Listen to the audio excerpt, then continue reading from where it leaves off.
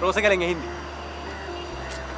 නෑ නෑ අනේ මං එද්දින් ඕක දැක්කා මට ඉතින් ඔයා මතක් වුණා මං ගත්තා ඉන්නේ හරිම ෂෝ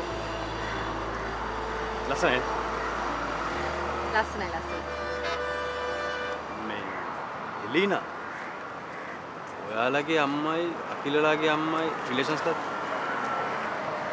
තාත්තයි මාලි ආන්ටි තමයි යාළු.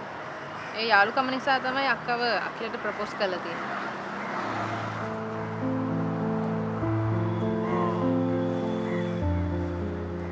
ඒ ඒ කොහොමද? ඒ කියන්නේ තරුණ කාලේ ඉඳලා යාලා යාළුවෝද? එච්චර දෙයක් නම් මන් දන්නේ නැහැ.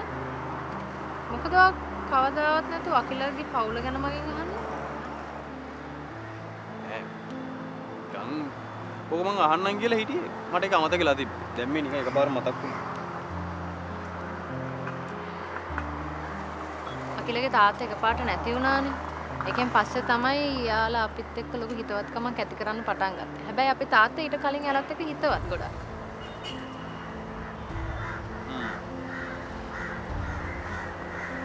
ඇයි? හ්ම්? ඈ නිකන් ඇවි. ඔයා කවදාවත් අනිත් අය ගැන මගෙන් එහෙම අහලා නැහැනේ. ආයිති වෙන කවුරුවත් නෙමෙයිනේ. වෙන්න මස්සිනානේ. ඕ මරු මස්සින. ඇත්තට මකිලට වඩා ශෙහාන් නම් හොඳයි.